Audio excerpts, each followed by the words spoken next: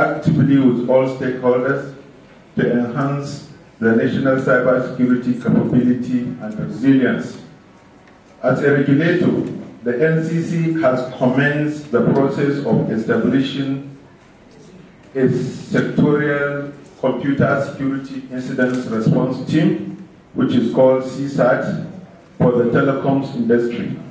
The center is for gathering information on all cyber threats like malwares, viruses, and um, trojans. This information will be shared among all stakeholders in the face of fight against cyber crimes.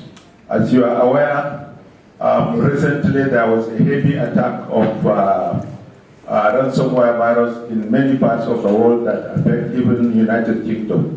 So Nigeria is putting in place a proactive measures to ensure that this type of threat does not happen to us in this country.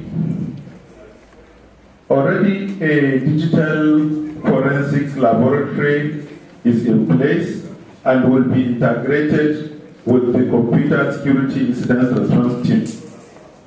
This, we believe, will enhance our collaboration with law enforcement agencies because NCC continually collaborates with law enforcement agencies within and outside the country in face of fights against cyber crimes. As you are aware, cyber crimes has no borders. It transcends all borders. Um, a cyber hacker in Nigeria can attack a network in UK, as well as a cyber criminal in UK can attack a network in Nigeria and even steal money.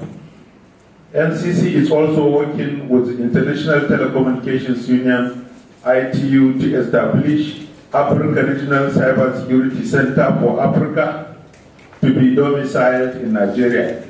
This center will also be gathering all cyber threats in the, in the African continent and uh, sharing this information. It is also going to be a center for cyber security research and training and the center is expected to be manned by the experts from International Communication Union for about a period of four years before handing over to Nigerian Communications Commission.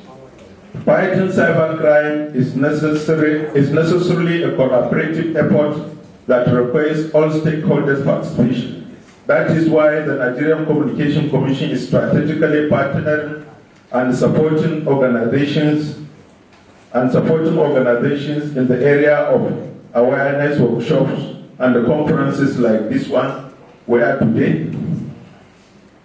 We believe that our collaboration and sponsorship of workshops and the conferences in cybersecurity will go a long way in enhancing our capability in combating the cyber crimes. We therefore assure you that the NCC will continue to support and partner with organizations like Center for Cyber, uh, for Cyber Awareness and Development, CECAD, um, in creating a much needed awareness um, in cybersecurity in Nigeria.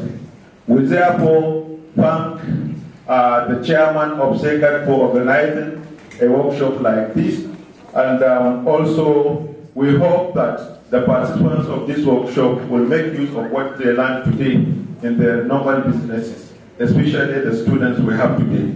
Thank you all. God bless you. Thank you.